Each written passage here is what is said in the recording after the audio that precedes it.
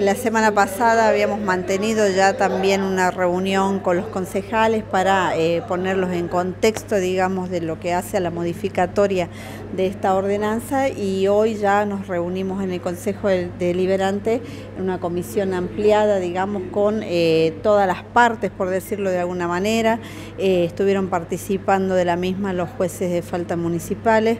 Eh, también, digamos, el sector de eh, remises en este caso, la Asociación de Trabajadores al Volante que representa a los choferes del sector, por supuesto todos los concejales, el presidente del Consejo Deliberante y en este caso eh, desde la Secretaría de Protección Ciudadana y la Administración de Transporte Público. O sea, digamos, estamos todos los actores involucrados en lo que hace a la modificatoria de esta ordenanza.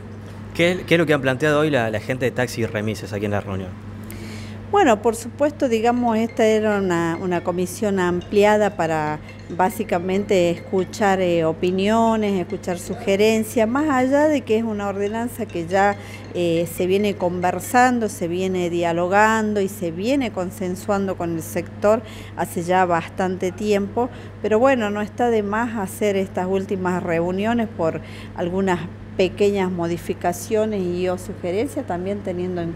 cuenta en esto la palabra eh, de los jueces de faltas municipales, que son quienes van a llevar adelante, digamos, las sanciones que a futuro puedan tener eh, este tipo de ordenanzas. Secretaria, también se ha hablado sobre de la forma que prestan servicio, la vestimenta, entre otras cosas. En este sentido, eh, hemos pasado un fin de semana, ¿a dónde cuesta conseguir taxis y remises? ¿Se habla de eso porque por allí los usuarios eh, se sienten incómodos a la hora de eh, tener que usar un servicio que por ahí no, no, lo brinda, digamos, de, manera eficaz, si se quiere de alguna manera, ¿no?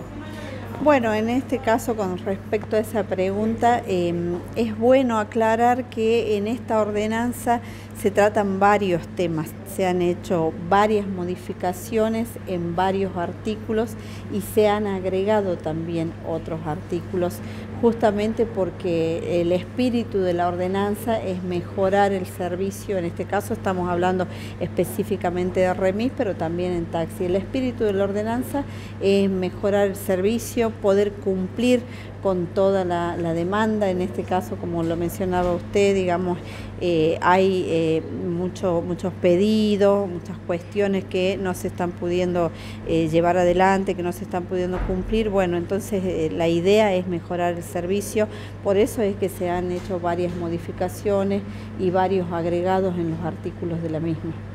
¿Qué sucederá con los servicios que, eh, por ejemplo, Uber, se habló de eso o qué, se dijo en esta reunión?